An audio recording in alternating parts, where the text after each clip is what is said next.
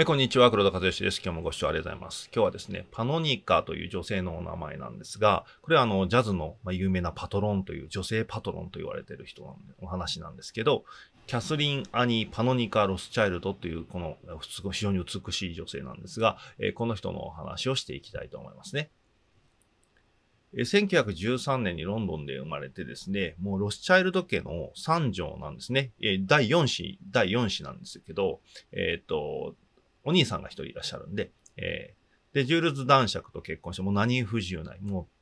手に入らないものはもう何でも買えて手に入らないものはないって言われたぐらいすごいこうお金持ちなんですけど、でそういう人ってね、逆にこう自分のこう存在意志っていうのは分からなくなるらしくて、普通の人から見たらもう何食わぬもう幸せな人生なんですけど、彼女からすると、まあ、人生に何を見出していいか分からなく、いい人生を送っていた時に、お兄さんがピアノの先生がテディ・ウィルソンなんですけど、そのテディ・ウィルソンにこの音楽いいよって聞かせてもらったのが、えーセレニアス・モンク、先週やったセレニアス・モンクのラウンド・ミッドナイトですね。でラウンド・ミッドナイトを聞いて衝撃を受けるわけです。なんだこれはと思ってですね、彼女はその日のうちに20回以上聞いたと言われてますが、でも、こう、こんな曲をかける人って何なんだっていうことで。で1951年にはですね、別居してですね、ニューヨークへ移ってしまうわけですね。でも、文句をとにかくこう、なんて、かくまうというか、もう、文句がもう家がなくなったって言ったら、もう彼女の部屋を与えて、ピアノも用意してあげて、で、まあ、彼はもう作曲する時間をどんどん上げてですね、そうすることによって彼はあの、ブリリアントコーナーズっていう有名なアルバムを作るんですけど、もう本当にあの、ジャズの名盤と言われてるこの中のアルバムになるわけなんですが、それもあの、メンバーとかもその、えー、セッティングとかも全部彼女がやってあげて、で、文句の音楽を愛し続けるわけですね。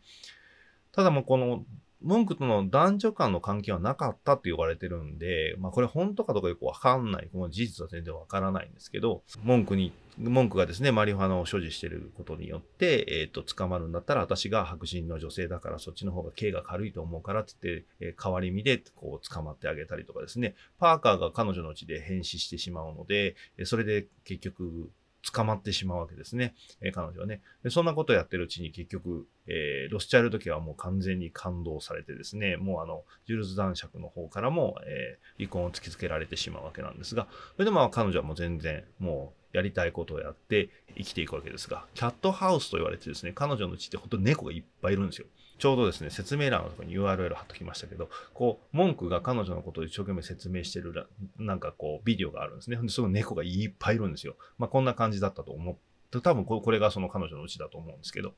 で、えっと、文句が彼女のことをずっと説明してて、彼女の名前っていうのはバタフライにちなんで作られた、つまり蝶々にちなんで作られたんだよ、みたいなお話をしています。あのー、まあ、実際は蝶々じゃなくてガだったというお話なんですけど、まあでもまあ、美しいね、あの、こうひらひらとしたこう昆虫につけて、えー、お父様がつけた名前だということで、本当に女性としても美しい人だったと思いますが、えー、いろんなミュージシャンがですね、ニカ夫人に曲を捧げています。セレニアス・モンクはも Pannonica。これ一番有名ですね。まあ、ただ、一番有名なのはホレス・シルバーの Nica's Dream じゃないかなと思います。あとソニー・クラークのニカとか、ジジ・グライスの Nica's Tempo、ケニー・ドハムのトニカ、ケニー・ドルイの Blues for Nica、バリ・ハリスのインカ、フレディ・レッドの Nica Steps Out、トミ・フラナガのセロニカ、まあ、他にもあるかもと思うんですけど、本当にこう、このトミ・フラナガのセロニカに関してはもう、セレニアス・モンクとニカですよね。ね彼女たち二人の、やっぱこう、心の愛もね、こう、心が繋がってる愛情みたいなものをよくこう書いたんじゃないかって言われてるんですが、本当にその、すごいこう、硬質な、えー、バラードだと思います。えといったことでですね、もう本当に彼女にお世話になった人はたくさん本当にいると思うんですよね。ミュージシャン、ジャズを見に来たら、もう今の曲はどこが良かったとか、本当に音楽の内容一生懸命何が良かったとか一生懸命喋ってる。もう、ジャズミュージシャンにとったら本当にこ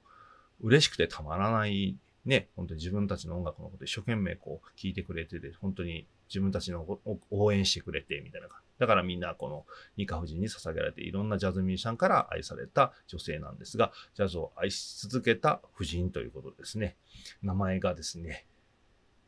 キャスリン・アニー・パノニカ・ロスチャイルドという人ですね。はい。ぜひ、えっ、ー、と、パノニカという女性がいたっていうことですね。ニカズリムのニカはこのパノニカのニカから来てるということでございました。えー、まあ、ジャズの歴史の中ではもう欠かせないぐらい有名な人なので、ぜひ覚えておきましょう。というわけで、えー、本日は以上になります。今日も最後までご視聴ありがとうございました。今日も最後までご視聴ありがとうございました。今日の動画があなたにとって面白いなとかためになったなと思われる方は、いいねボタンを押してください。チャンネル登録の方もよろしくお願いします。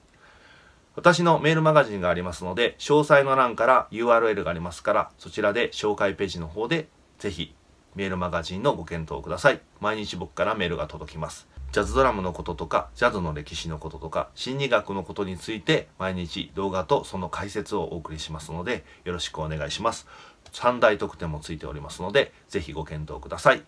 それでは今日は最後までご視聴ありがとうございました。黒田和義チャンネルでした。